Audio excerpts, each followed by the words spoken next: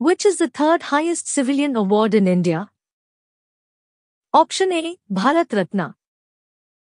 Option B, Padma Bhushan. Option C, Padma Shri.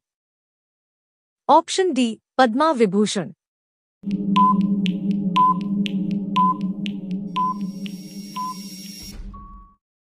Correct answer is option B, Padma Bhushan.